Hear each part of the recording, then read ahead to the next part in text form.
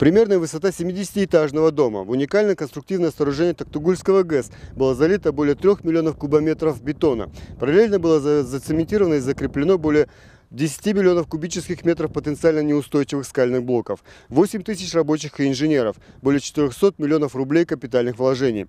Плотины такой высоты в 215 метров в Советском Союзе на тот момент нигде еще не было. Ради ее строительства пришлось переселить около трех десятков тысяч местных жителей. На дне водохранилища остались районный центр, 25 сел, кирпичный завод и аэропорт. Сегодня Токтагульская ГЭС – это более трети всех энергомощностей страны. Официальной датой запуска в эксплуатацию гидроэлектростанции считается январь 1975 года, когда был запущен первый гидроагрегат энергоузла. Второй был сдан в эксплуатацию в конце ноября того же года.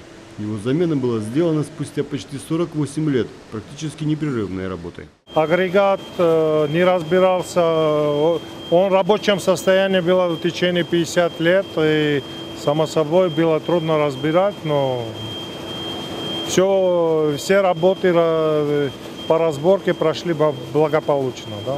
Мы винули колесо вместе с валом, да. Сейчас будет происходить э, разборка отсоединения вала от колеса. И потом будем выносить на, э, на склад, да, все, все это. И после того, как это место освободится, мы начнем заводить новое оборудование, тихо-тихо будем собирать агрегат. Да. Э, Сейчас мы проверяем все новое оборудование, его качество и соответствие всех необходимых элементов. Потом передаем на монтаж и их ставят по своим местам.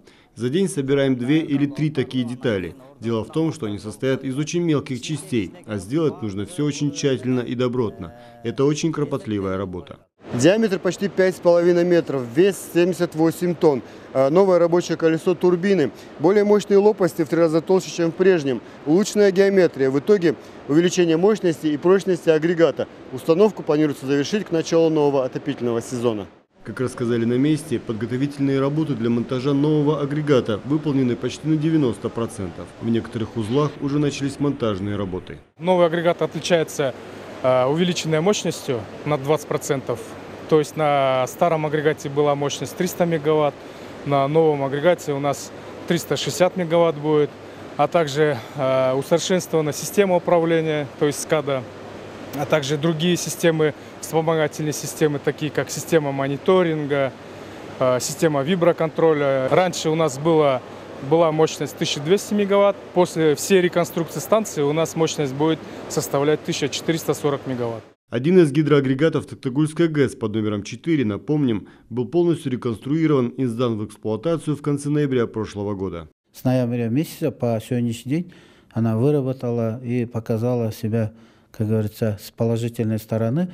Э, выработка была, если раньше по, на старом агрегате 300 мегаватт, Всю зиму вырабатывали 360 мегаватт. Это дополнительно мы получили 60 мегаватт дополнительной генерации. Согласно нашего контракта, до 1 ноября они должны закончить реконструкцию второго агрегата и выдать дополнительно еще 60 мегаватт. Это получается на двух агрегатах мы где-то 120 мегаватт э, дополнительной генерации получаем. Кроме Токтагульского ГЭС, генерация которого после замены всех четырех гидроагрегатов к 2025 году вырастет на 240 мегаватт, дополнительные мощности таким же путем реконструкции, по словам Ибраева, планируется получить в Учкурганской ГЭС. И далее этот метод будет применен ко всем имеющимся гидроэлектростанциям в стране, уверил глава профильного ведомства.